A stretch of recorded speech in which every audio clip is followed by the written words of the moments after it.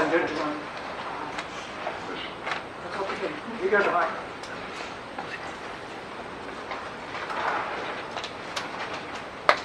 We should welcome, first of all, our China specialist, Tokyo University, Mr. Fujiwara.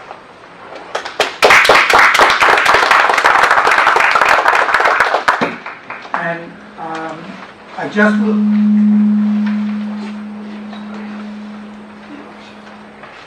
Two simple jobs to do. To introduce the speaker, and I already finished that.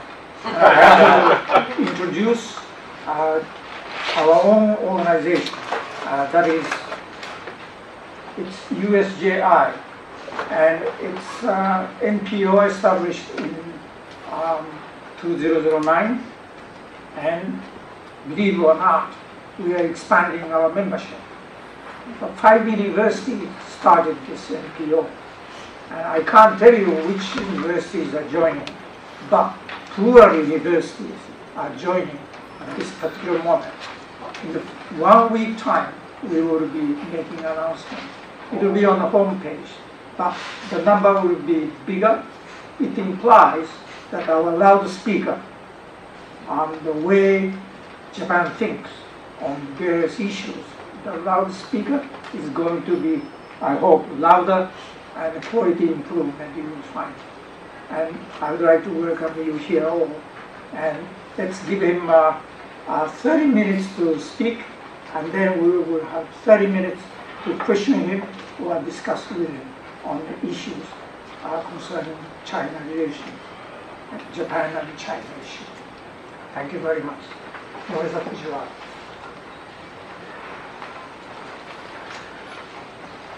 Thank you very much, uh, Professor Abe, for your kind introduction.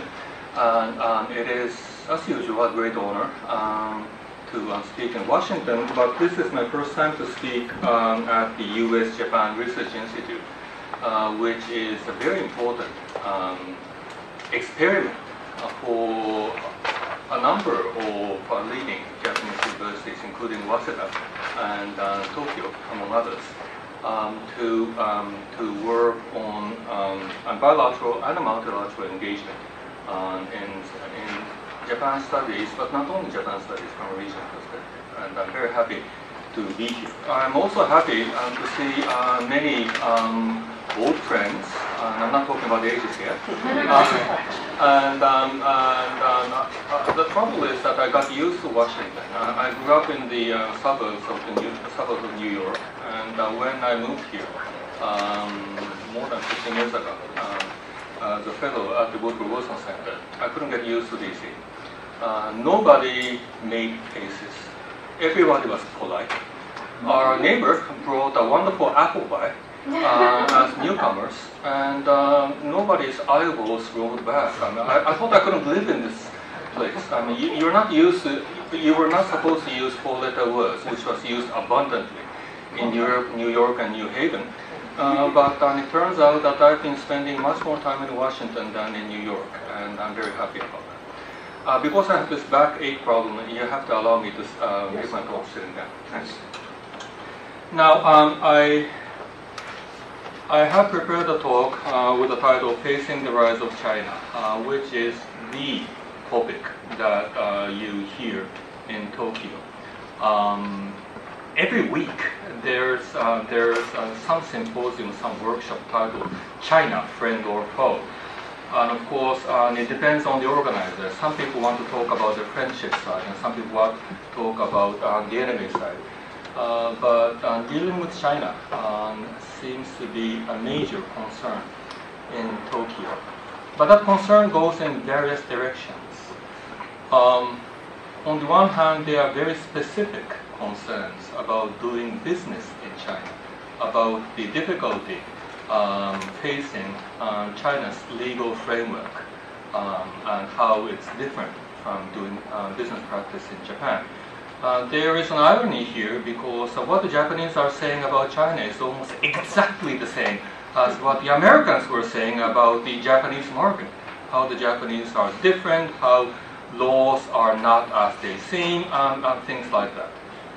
So this will go on, Uh, but um, here, at least on the economic side, there is a shared assumption that we can never work out our economy without China. So this is the relationship we have to deal with, and China will remain our important partner.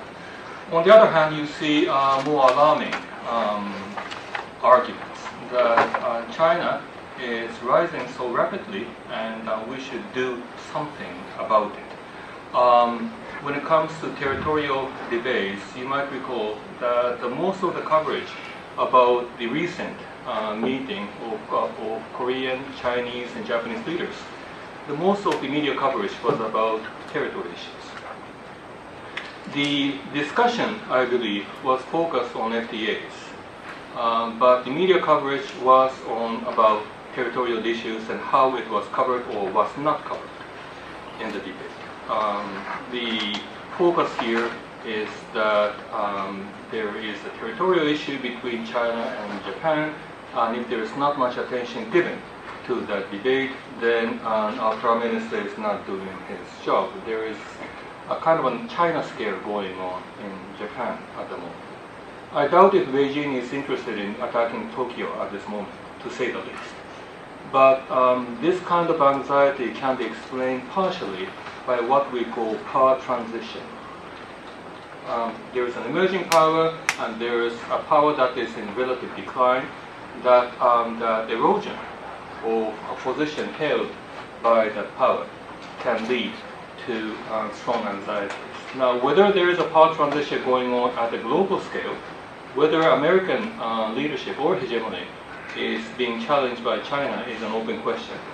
But on the regional level, there is certainly a power transition from um, from uh, um, from Japan to China. The capital of the Middle Kingdom is now being restored back uh, from Tokyo to Beijing, and some people dislike. So um, some of the discussion that I would um, give um, today would be uh, quite academic, um, unfortunately um, based on the research I did with uh, Professor T.J. Pempel of, um, of University of California, Berkeley, and um, a number of scholars in Korea University and Tokyo University. But um, as I'm not really used to academic jargons, um, I guess uh, I guess in the Q&A session and in most of the uh, most of the discussion, I'll try to offer as much uh, concrete detail as possible. Take a look at DPJ and you see a wild uh, swing of policy. When Hatoyama became um, the, uh, the new prime minister after a long LDP regime, uh, his focus was on remaking U.S.-Japan relations and also strengthening relationship with China. Uh, should be clear from his position on the Futenma base issue and also his uh, focus on East Asian community, whatever that means. Uh, we were never sure what he meant by that. Um, I would argue that Hatoyama's position was more for domestic consumption rather than as an articulate foreign policy. But nevertheless, um, the DPJ regime started um, by focusing on China rather than the United States. Right now, we see the opposite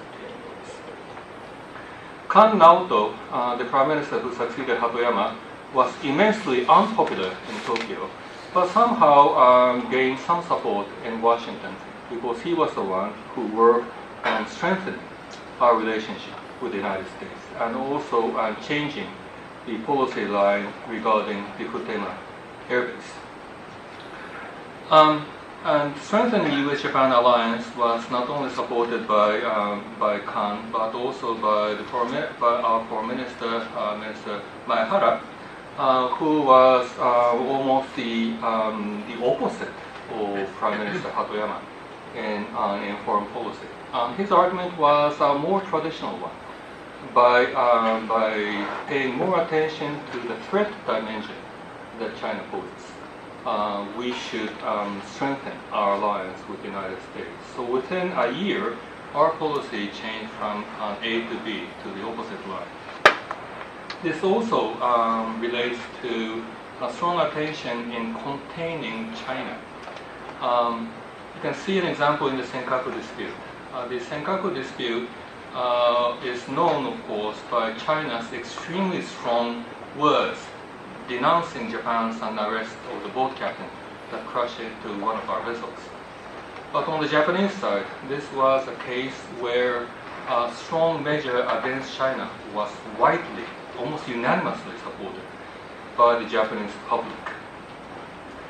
Now, the question here is, of course, why this pendulum has, been, uh, has taken place. Um, the best answer would be to go back to uh, Japanese domestic politics, but in, instead I will focus on a more wider terrain. You take a look at power and economy in East Asia and you see two very different things. On the one hand, you see um, economic development and trade developing at a tremendous pace. It's not only that the, the economies are uh, developing, you also see an integration of Chinese and Japanese and Korean markets. In fact, at a far uh, higher pace uh, compared to our integration to the global market. We see an emergence of an East Asian market in the US. Uh, so therefore, we see uh, interdependence at both uh, global and regional levels. And this is also accompanied by institutional architecture. Um, during the past 10 years, we see a development of more policy coordination between the three East Asian nations. Uh, China was not paying much attention to economic diplomacy a decade ago.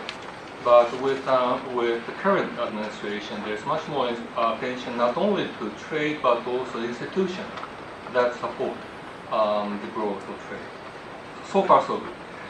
The other uh, side of the coin is that we see um, balance of power politics leading to limited but very significant anxiety, which of course is uh, related to the rise of China and the relative decline of Japan.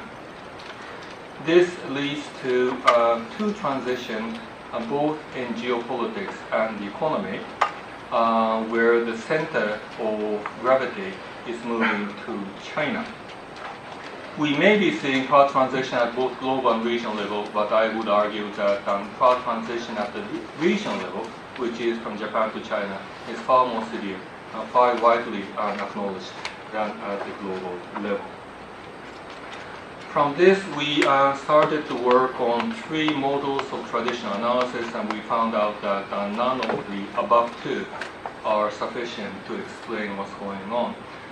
Um, allow me to uh, work on political science 101, but um, the original argument that was put forward by the Manchester liberals, or Adam Smith for that matter, was that growth of trade will promote stability, as war will become much more costly and much more meaningless in an integrated economy. That's the commercial peace argument. The other argument is goes to the other extreme. Power transition, um, rise of new powers and eroding hegemony promote instability. In fact, the original architect of this theory, um, Mr. Organski, um, proposed a possibility of hegemonic wars. Uh, whenever there's a power transition, this leads to hegemonic wars. Um, this is a rather alarming argument, and I doubt if we uh, really have to think about it, but that's what Mr. Organski said. Now, power transition arguments usually argue that the challenger is much more aggressive than the status quo power. And this uh, argument has been challenged by uh, many observers, especially during the past few years. The argument goes that uh, power transition may actually lead to preemptive action by the status quo power. Um, this means that it's better to strike against your enemy before that enemy becomes much stronger. If that is the case, then this is closer to what we have called a security dilemma in international relations. Power transition is unique in the sense that the rising power is more aggressive. Security dilemma actually uh, talks about something very similar to power transition. as all sides may be defensive in their intent, but their defensive realism leads to a spiral of insecurity. Security dilemma is an argument that has been argued very often by Chinese international uh, relations people at this moment. For obvious reasons, they are afraid about the containment of China, uh, which may be emerging right now. Power transition is an argument that has been put forward by, by more Well, um, hawkish um, people in the United States um, or um, Japan, for that matter. So we um, try to work out some analysis. Our basic argument it goes like this.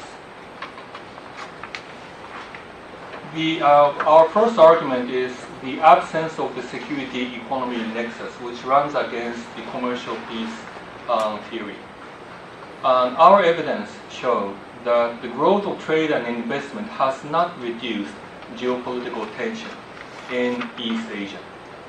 And, and, I'm not going into the details of our research, but this is an alarming finding because uh, if you follow Adam Smith and the Manchester Liberals, Cobden Bright, or for that matter Robert Keohane, anybody who talks about interdependence, we would expect that the growth of trade and investment would decrease geopolitical tension. That doesn't seem to be the case. But uh, I would like to add quite quickly that this does not mean that um, the growth of trade and investment has increased geopolitical tension. Some uh, power transition people are arguing along that line, but we do not support that argument either. Um, the argument we have made, uh, which is rather troublesome one for us, is that the geopolitical gain and the economic gain could be more independent than we uh, assumed before. So we also argue that uh, power transition has been working as a destabilizer, which uh, may not lead to hegemonic wars. Rising power see new opportunities for causing anxiety among the rest. So uh, power transition has worked as, uh, as um, strengthening anxiety over China's role in the region, especially in Tokyo, and on a milder extent to Washington. I doubt if there's much attention on this aspect in Washington, but a lot going on in Tokyo. We uh, have worked on several scenarios. One scenario was commercial peace. I would not go into details. Uh, that um, growth of trade would um, decrease tension. Uh, it would spill over to regional economic institution from to geopolitical institution it will also ge uh, geographically spill over from ASEAN plus families to Northeast Asia that the growth of trade will promote uh, greater stability in the region. That's the commercial peace argument. The second scenario is securitizing, as we call it. Geopolitical anxiety would play a paramount role in defining international relations. And therefore, economic uh, competition resource allocation will be increasingly be viewed as a zero-sum game, and geopolitical conflict will harm economic negotiations. And Northeast Asian contestation will spill over to ASEAN plus institution. That's the worst case scenario in ways. The third scenario, which is closer to what we have found, is the economic security isolation. That geopolitical anxiety and economic interest may be mutually more independent than we have thought. Uh, that the growth of trade and investment would lead toward further regional institutions on the one hand, and nevertheless, geopolitical anxiety may disrupt initiatives toward regional security architecture on the other hand. So we see the right hand working on peace and the left hand working on conflict, and the two will not work together. Uh, that's, the, that's our rather alarming finding, we found in, um, in our research. Uh, just like I said, um, our first observation is that commercial peace, commercial peace may be possible, but it's not inevitable. Extreme expansion in trade volumes in East Asia has not ruled out territorial conflicts or discord over war memories or responsibilities. Now, Commercial peace is an easy argument if you only focus on war, for there has been no war between powers where you find greater interdependence.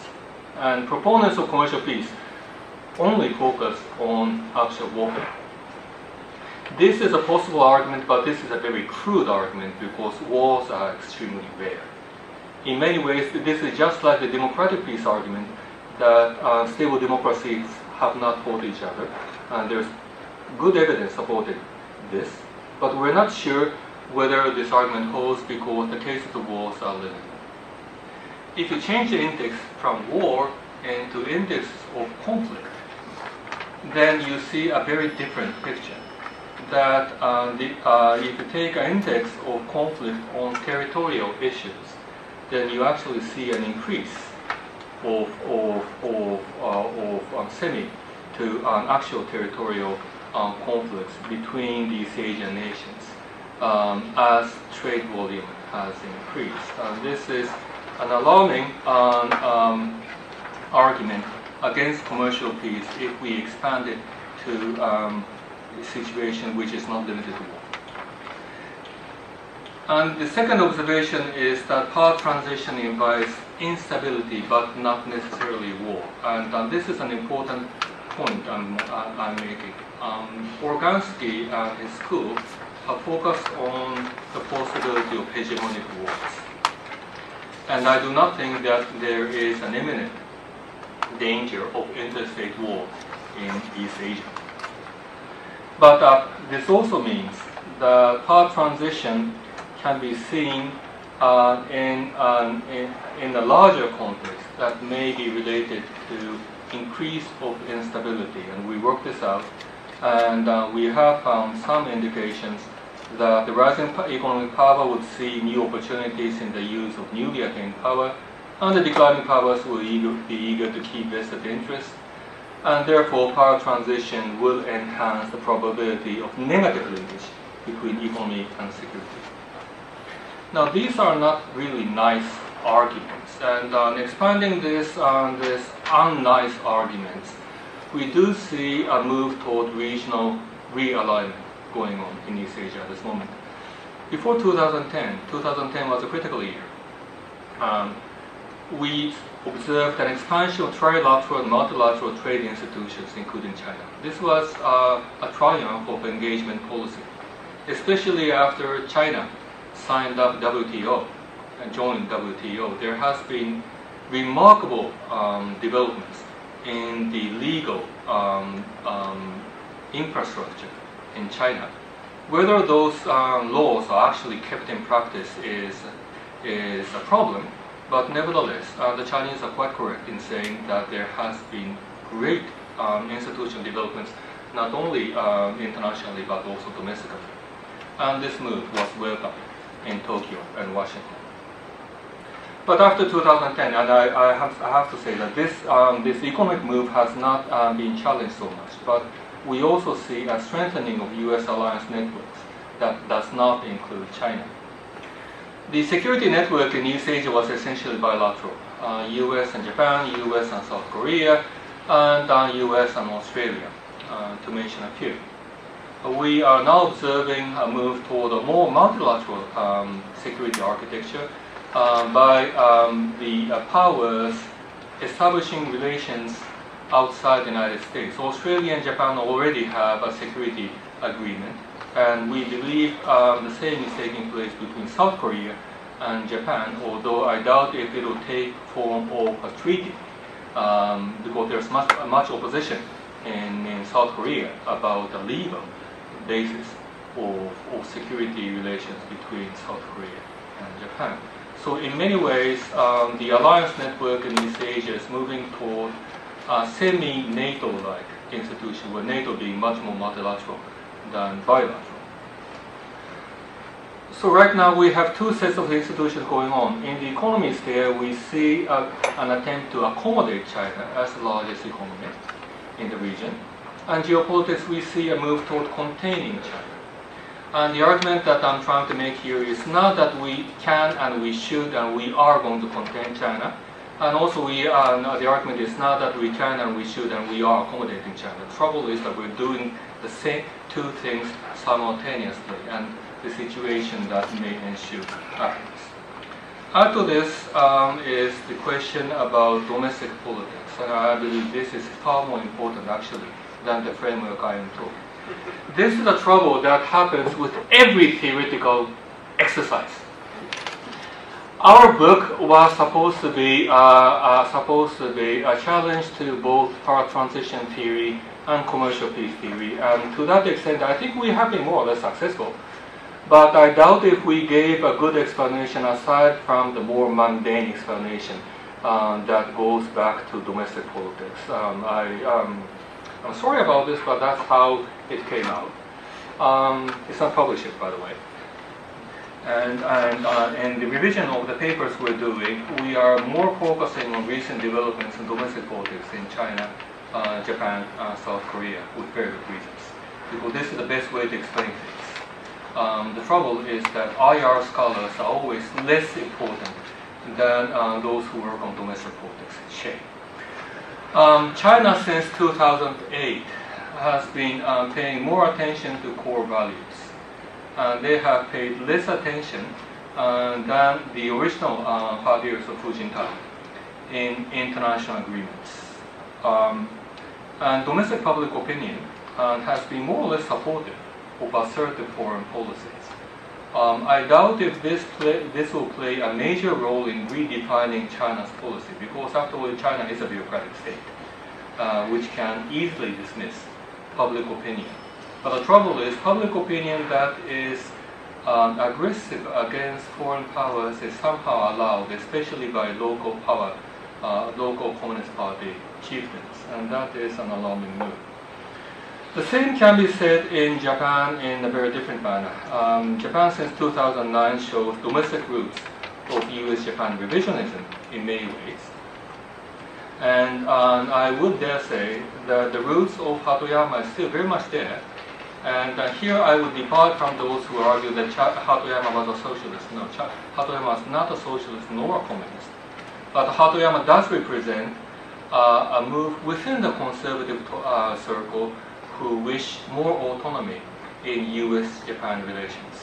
East Asia community was essentially for domestic consumption uh, by projecting an image of a more autonomous Japan that uh, works as a bridge between U.S and China, uh, you, you, may recall that this is almost identical to what Hyun talked about in his foreign policy. Uh, this also means that um, because of um, domestic uh, influence, our policy in East Asia would, uh, would um, face more fluctuation in the future.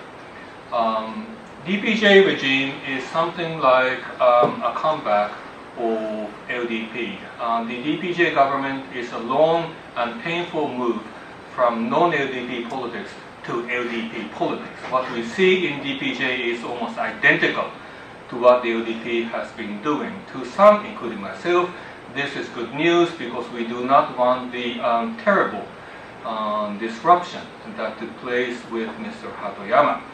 But this also means that um, the DPJ regime would face a very strong opposition, not only from the opposition party. By the way, LDP is getting to be a very opposition party-like party right now. It's, uh, it's almost painful to watch the LDP becoming more DPJ and the DPJ becoming more LDP. Um, I just, I'm not sure if it's shown uh, here, but I just uh, published a uh, column in Asahi Shimbun arguing that yes, uh, Japanese political uh, parties are not organized along policy lines, but no uh, political parties are quite consistent in policy preferences in the sense that the ruling party always follow the same policy and the opposition party always follow the same policy regardless of what, what party that opposition party is.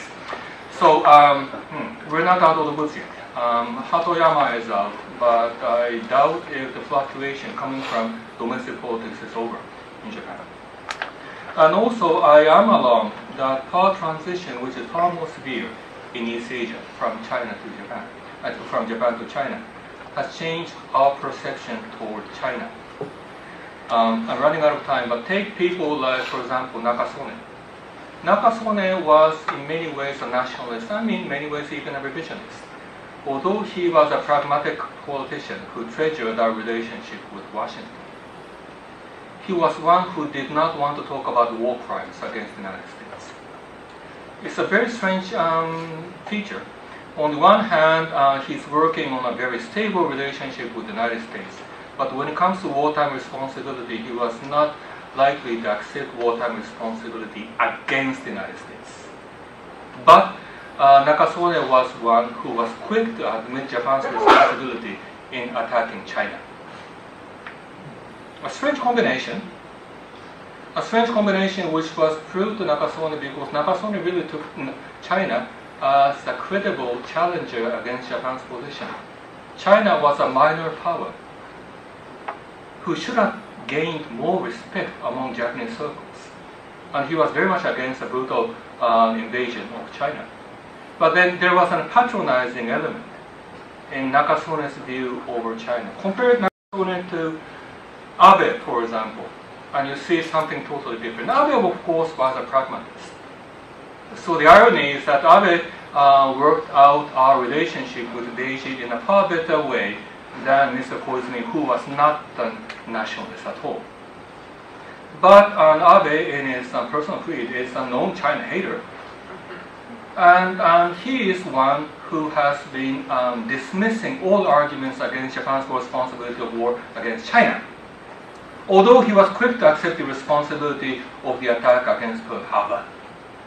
The difference between these two, I believe, um, has somehow reflected the difference or power relations that they um, pay much attention to. For Nakasone, China is not a challenger. For Abe, China is a major challenger, uh, which many Japanese um, pinkos, including myself, have not paid much attention to. And he's, uh, he is very much um, concerned about this lack of that attention against the rising China.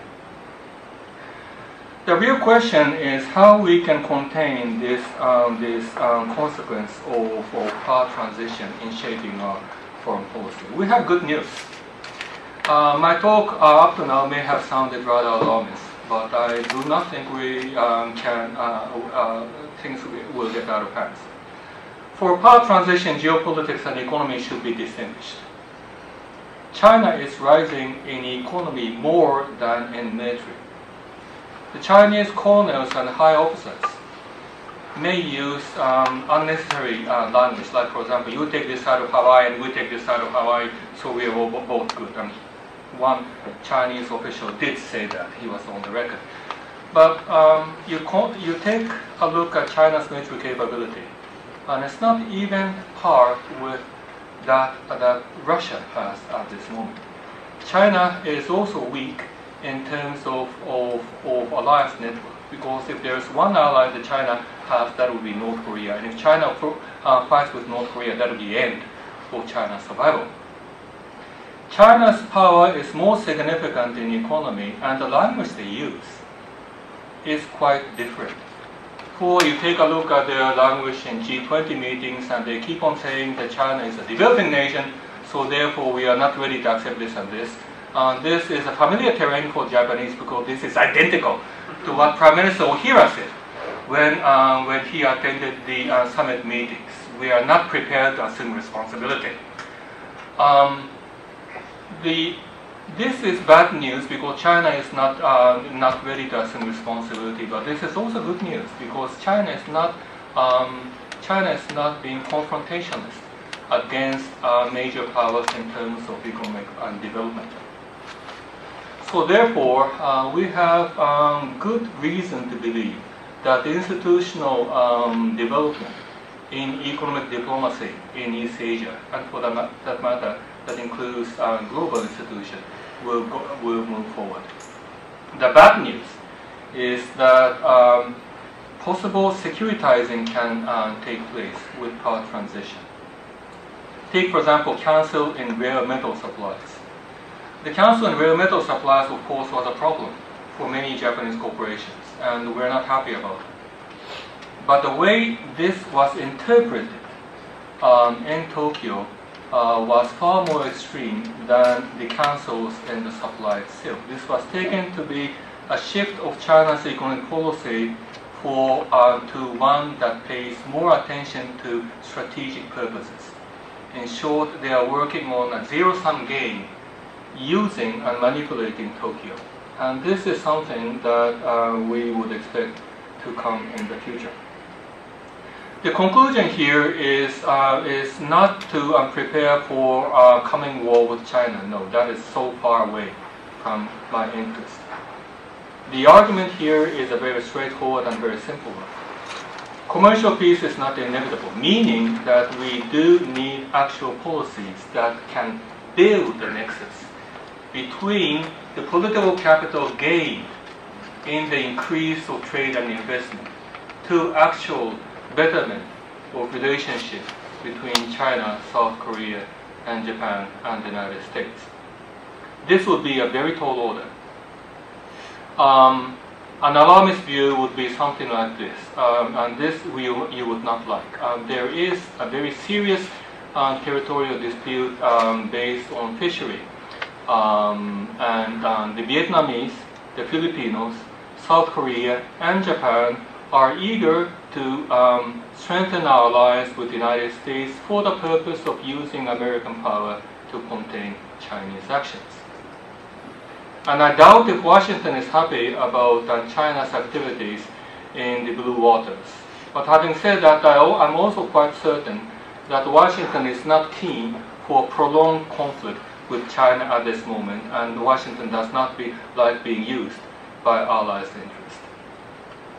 The trouble is that this line of a potential containment of China has been proceeding independently from what has been taking place in trade and investment, which is very, uh, very real. And the question here is how we can build a nexus between the two. I think I've talked too much, so I'll end my talk here. And um, so much for the academic talk. Thank you very much for your attention.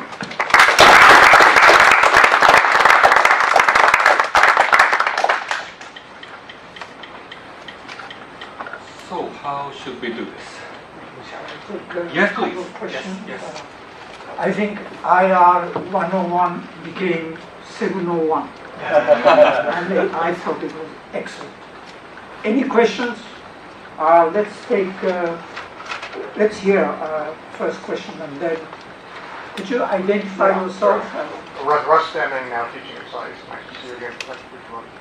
Uh, my question goes to your last point. How do you build that nexus between economic interdependence and the growing geopolitical yes, tension? Yes. Is that a leadership function? Mm-hmm. And particularly with politics in Japan and a very confused state, how, how do you avoid just letting events take over and not trying to, to, to manage them? Yes.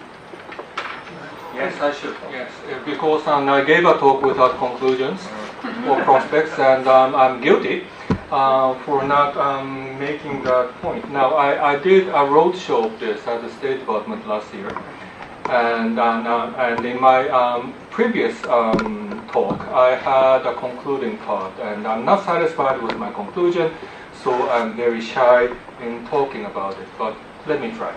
Um, because a book needs a conclusion, a talk needs a conclusion. Um, um, so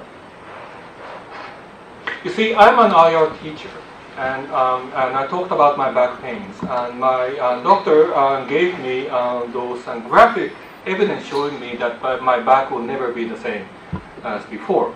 Uh, and, uh, and actually, I knew about it before I went to the doctor, so I asked him, uh, well, uh, could you do something with this pain? Um, his response was, well, um, pain, well, um, I think you can, uh, you, you have to uh, live with it. Um, I disliked this answer, so I had to say that, well, your work is very similar to what I do in my So, um, so um, with me if my answer um, to your question is, uh, is, is an unsatisfactory one. Uh, one thing, and I really truly believe this is necessary, is to build a bipartisan realm of foreign policy. And I, I am aware that I'm dreaming. I'm aware that I am dreaming. Uh, but um, but um, a, a bipartisan, but without building a bipartisan realm in foreign policy. The fluctuation of domestic politics will always remain the same, and, uh, and that would push foreign policy to this way and that way. Um, this is essentially a question of, of trust, but this is also a function of, of, of, multi-party competition. Um, this is wishful thinking, but I don't think this is uh, totally um, pointless. Um, as you can see in LDP right now. LDP is in a very strong position to win the next government. Now, the younger members um, in the LDP are eager to work against um, DPJ's foreign policy line. Some of them are actually populist and quite similar to Hatoyama's. Uh, but the LDP chieftains are somehow containing this demand uh, for, the, for the very simple reason that if they become the ruling party after the next election, they have to change their policy. Um, this is about a region where multi-party competition has been extremely volatile. So there was a winner takes all politics, and the ruling party would do whatever they want to do, and there was no consistency within the um, inter-party debates. I think uh, political party system in Korea is, is stabilizing much uh, much quicker than in Japan right now. And although there is still a socialist bloc, and there is a socialist bloc in, in the Korean parliament, um, their position has become much more pragmatic than before because they are eyeing a position in the next uh, next government. I doubt if they will be successful. Um, the populist parties uh, do not really have a much chance in the next presidential election, I think.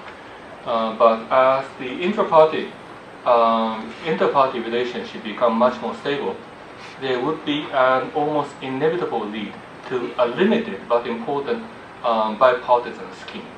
Now, this is a wishful thinking. Um, the second one is a bit more, uh, more pragmatic and very important. Um, it's the role of summit talks in East Asia. Institutions play a role among um, career foreign officers and bureaucracies.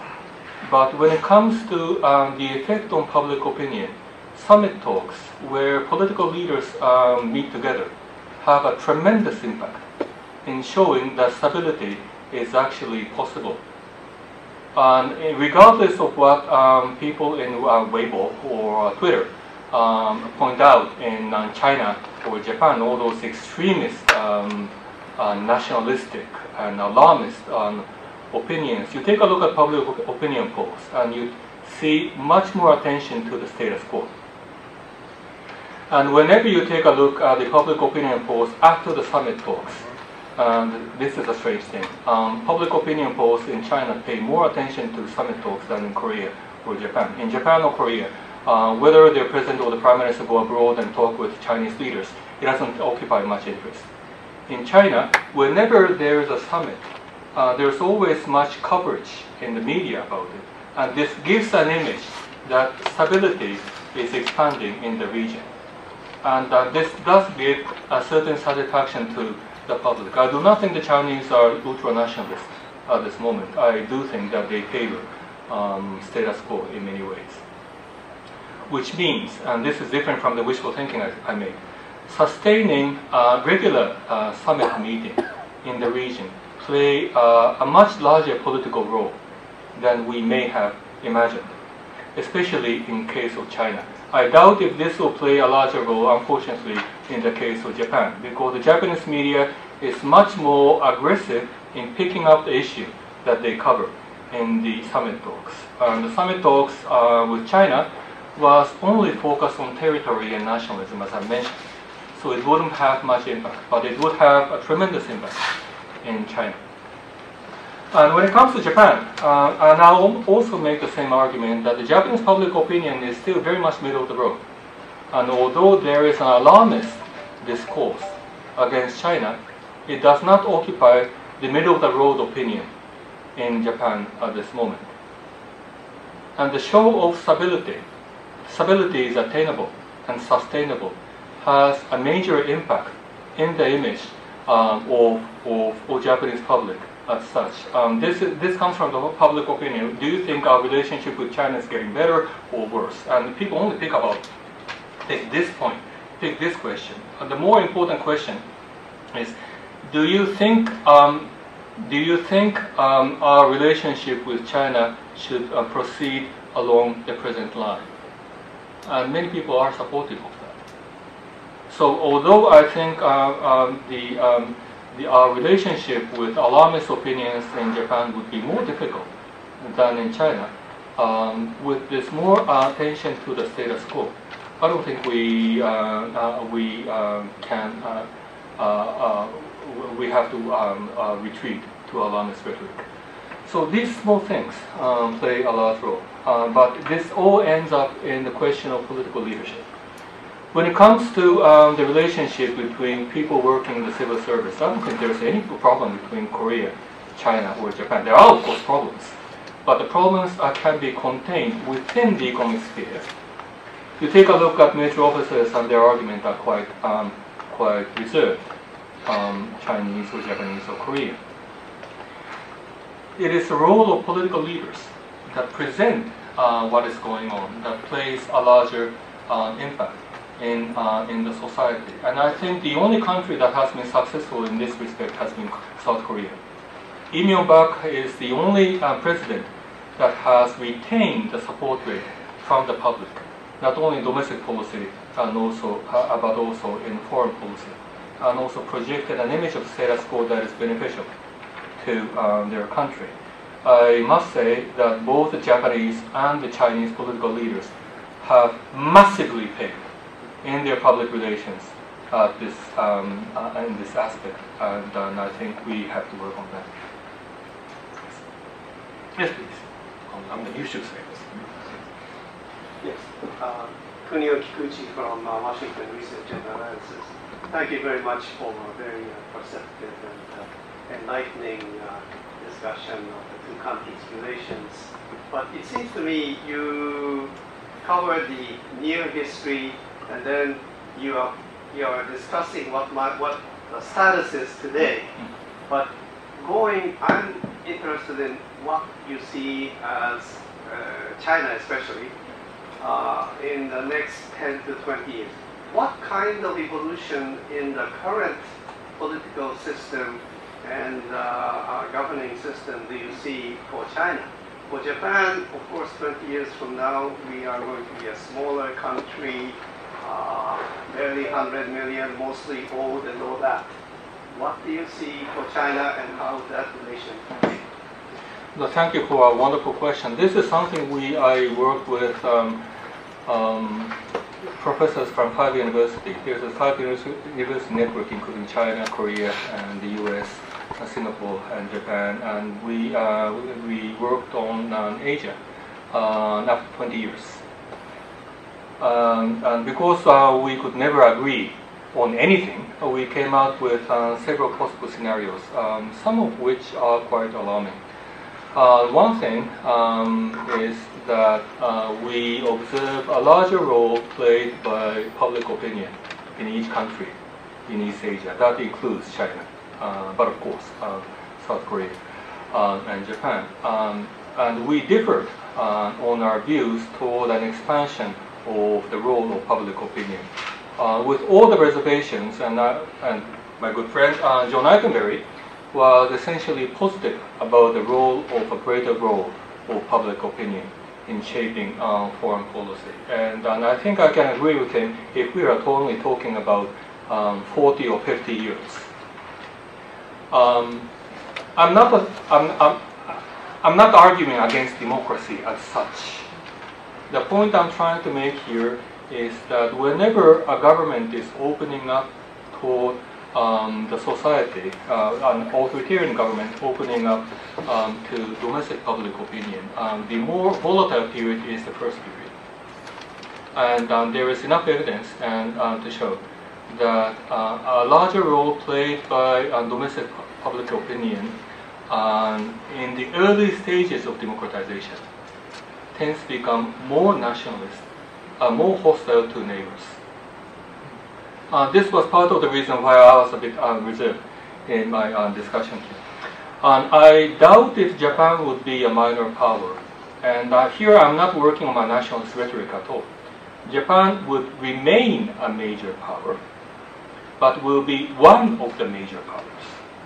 The real question about this um, decline argument is about maintaining supremacy and hegemony in the region.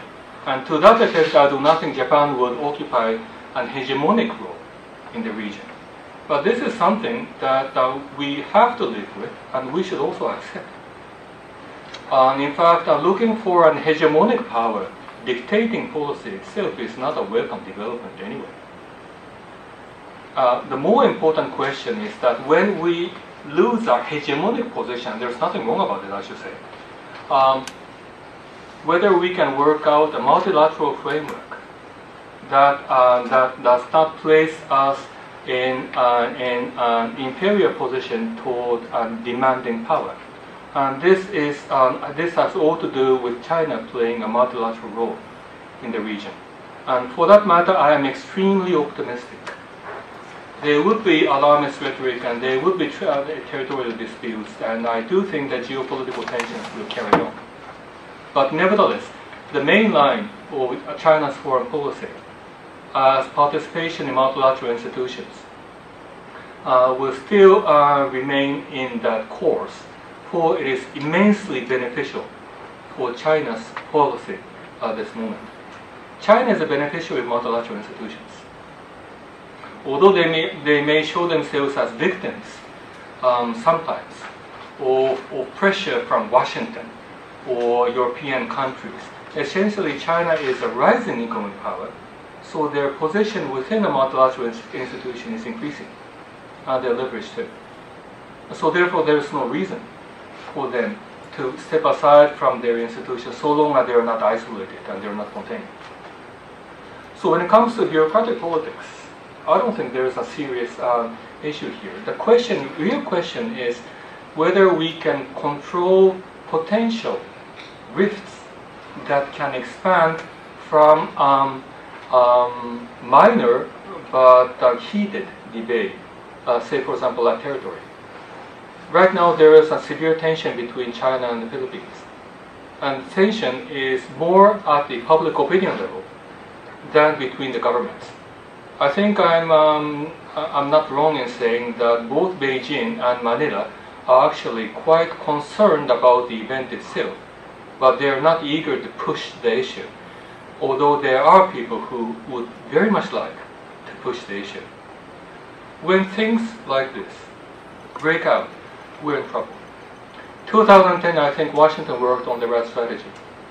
When, uh, when North Korea attacked Yeonpyeong, there was much demand from South Korea for revenge, and that South uh, that United States should support uh, support South Korea. I don't think this was a practical strategy anyway, but what you did was a joint military exercise with um, South Korea, um, including Japan as an observer. You did it in the Yellow Seas. This was something Beijing did dislike, to say the least.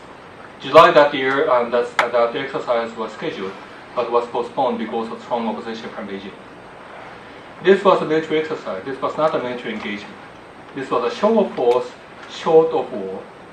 But the Obama administration consistently um, supported um, a dialogue with Beijing all the way to make sure that this did not develop into an escalating crisis. This was a careful crisis management, I think. Um, this kind of thing can take place. So 20 years, I think it's going to be okay, but there will always be problems unless we try to contain it. And working on this wishful thinking that commercial peace will decrease, such flashpoints, I think, is dangerous. Uh, yes, Abigail Friedman with the Asia Foundation. Thank you very much for a stimulating talk. Um, to go to uh, Japanese politics because I think of your your assessment um, tracks with my sense that that it's the internal situation in each country that does affect uh, international relations. Um, you seem to suggest that it is uh, um, decisive leadership that is required in Japan to make steps. There are others in Japan, though, that believe that it is structural reform that is necessary, whether it is direct election of the prime minister, changing Article 9, or electoral reform again. Um, is your sense that those kinds of structural changes are not necessary for Japan to position itself in this new era? Or um, if you could comment on that. Thank you. I, I see many hands, so I'll be very brief um, here. Um, I'm not arg arguing against institutional changes, although we sh one should never um, overestimate the effect of changes in institutions. In 1993, um, so many of us in political science believe that the change in electoral law would lead to a more stable um, two-party system in Japan um, one might say that we're still on the um, on the path toward a uh, stable two-party system, and that may be true. Uh, but the observations um, somehow overestimated the effect of changes there. Um, there are so many things to be changed in Japanese politics, and just a direct election of the prime minister would not bring out that result. Yes, we have a divided government, and yes, the upper house is too strong, uh, according to our constitution. That is true. But then, does divided government always produce a stalemate in politics? I don't think so. Um, David Mayhew, a very leading um, American um, scholar, uh, a scholar of American politics, um, have pointed out that divided, divided government in, in the United States did not necessarily lead to polarization in politics. And in fact, uh, in effect, many new laws that ran against partisan interests were passed. So um, this is another thing that is uh, that would be popular in Washington these days with um, tea parties um, or um, Occupy people. Uh, but there was there is a bipartisan realm in American Congress that has been essential in keeping the political realm alive.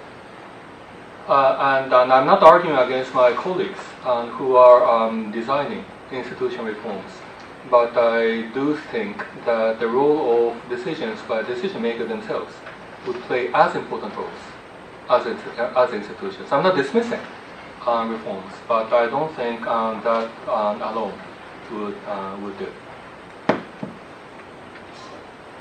Uh, Richard you. I'm a professor at American University, and in 2010 I was at East and years ago I was at Goldman Sachs. So I'm interested, in, you know, if we say there's good news on the economy end, and maybe some more questions and tensions in the geopolitical end, in the commercial field, there's also opportunities for tension with fair access to metals, intellectual property rights, uh, contract enforcement, and so on. And the U.S. counts on strong arm techniques to push those through. How will Japanese industry approach this if there's this division in the soft side of economics versus the tension of military? Um, the quick answer would be yes, yes, yes, and uh, and, uh, and also a dishonest answer would be that that's uh, what my colleague wrote about in the paper and not me. Um, yes, yes, um, you're right. Um, interdependence, growth of trade, investment does actually open more opportunity for contestation and conflict. The question here is whether that conflict would escalate into other terrains or whether that conflict would remain in that terrain. Now, um, for, for Ida-san, who is my colleague, um, um, those conflict uh, concerning trade and intellectual property itself is an issue. And uh, his paper argues that uh, there's no easy way out in the debacle that we're facing uh, with China. Um, and he has a point. He has a point, but um, to me, well, that's not really a big problem so long as uh, that uh, that debate remains in, within the socio-economic sphere uh, where the international political economy people are talking about. Uh, on this, there will be uh, another realignment going on. Um, previously there was much more contacts with China as, uh, as including China was the path toward the developing economy.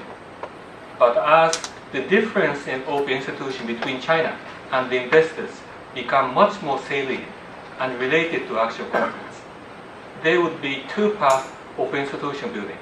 One would include China, but the other one not including China, by showing a higher standard of institutional development vis-a-vis China, which China cannot attain at this moment, but which would be an incentive for China to change. And of course, I'm here talking about TPP.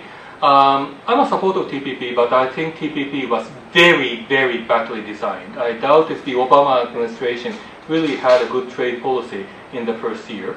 I was very alarmed about it. TPP is a move in the right direction. But TPP, um, I won't go into the details here, but, allow, but just allow me to say that the TPP should always be open to China, but also show what the Chinese have to do to join a regime of such nature.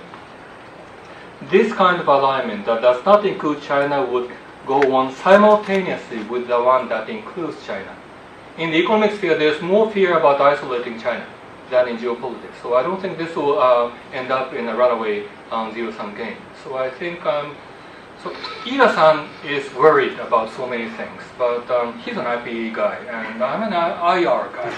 And uh, well, what seems so serious to him is eh, it's only about having 200 meetings uh, between U.S. and Japan and Korea and China. That's no big deal. It only means uh, more business class tickets. Thank you. The last question. Okay. Must Um, be the best one.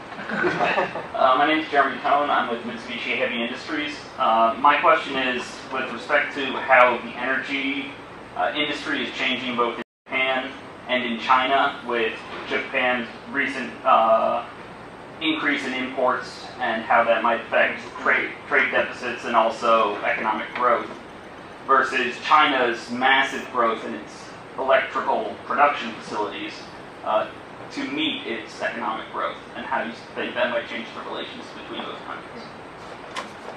That, that's a big question that, requires several answers. Um, uh, one, uh, and the, the more important one, is that there is a tremendous increase in the, in the demand for uh, new energy supplies in East Asia. And that includes um, not only China, but uh, many ASEAN nations, and Japan in many ways too uh, which itself uh, is, uh, is making um, the supply of raw materials um, a very acute issue. And this will shoot up the prices. Um, that's answer number one. Answer number two is about uh, relocating uh, Japan's uh, industry. Japan's electricity was always expensive. So this really didn't start from March 11, the earthquake. But the March 11 earthquake um, shot up the prices of, of electricity and is expected to shoot up price of electricity. So the relocation of industrial uh, sites out of Japan uh, has um, been increasing. Um, it doesn't really show in the media because everybody is rather careful to downplay uh, what's going on. But it's, uh, it, in fact, it has been going on for some time. And uh, our, we, our observation is that the relocation is now expanding to firms that employ less than 500 people. Um, uh, firms that employ less than 500 people is our de legal definition of small to medium scale enterprises. And when small to medium scale enterprises are relocating their production sites out of Japan, that has a major impact. Um, and uh, the direction is not only to China, and um, uh, we see a strong move toward Indonesia going on at this moment. Indonesia um, has a pretty stable energy program. It also has an expanding um, market, so that seems to be the side. Uh, the other way to answer your question would be about, uh, about uh, nuclear reactors. China is a wonderful consumer of our nuclear reactors, so we are working on, uh, on a double standard here. In Japan, uh, to be very honest with you, I do not think there's any future of developing a new nuclear uh, power plant in the future, uh, at least in the coming decade. And this also means that the nuclear power reactor uh, being a major source of income for Hitachi or Toshiba, they have to find consumers. So if they can, we can uh, sell it to the Japanese, we're going to sell it to the Chinese and the Chinese, uh, along with um, Turks, uh, Turkey, and many nations, actually being strongly um, um, interested in the nuclear reactors.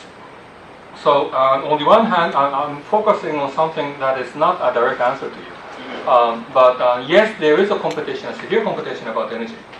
But also, some people do need China, uh, do need China as consumers for nuclear reactors. So the relationship would be, be more competition and also move for more cooperation. Um, I can give you several other examples like this, but I don't think the move would be uh, you, uh, one-dimensional. It could move in several directions. Thank you. I think time has come. Thank you very much. It's, uh,